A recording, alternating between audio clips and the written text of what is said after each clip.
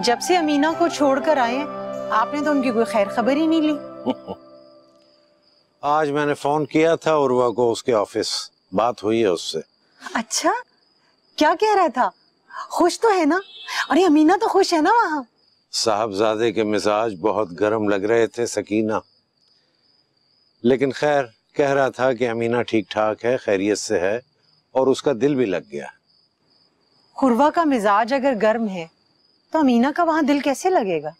लग जाएगा सकीना लग जाएगा इनशाला तुम देखोगी कि अमीना की तबीयत की नरमी और ठंडक उर्वा के मिजाज को भी गर्म नहीं रहने देगी। अल्लाह करे ऐसा ही हो। ऐसे क्या ख्याल है?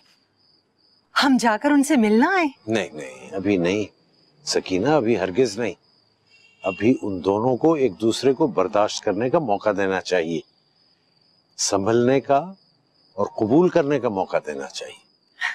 सच कहते हैं आप। वो दोनों अगर एक दूसरे की तरफ़ खुद से माइल हो तो ज़्यादा अच्छा है।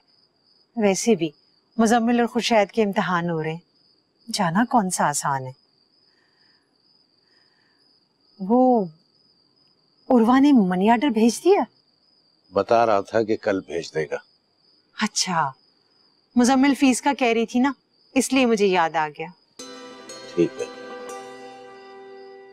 आ जाएँगे पैसे।